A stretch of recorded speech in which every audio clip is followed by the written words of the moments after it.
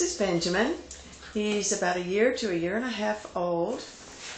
We believe he was hit by a car, but as you can see, he is bouncing back just beautifully. He is adorable. He is very loving. He is staying at the vet clinic right now, but he has made friends with everybody. Even the uh, veterinarian who passed me in the hall said what a great dog he is. Look at that tail. Oh my goodness, he loves loving. What a cutie.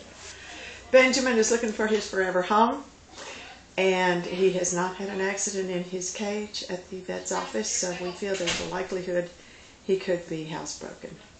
He is very, very loving and loves to play, loves toys.